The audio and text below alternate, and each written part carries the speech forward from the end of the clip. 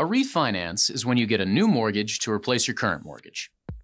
Let's say you bought a house and have had the same mortgage for five years, but now mortgage rates are lower and you're ready to make a change.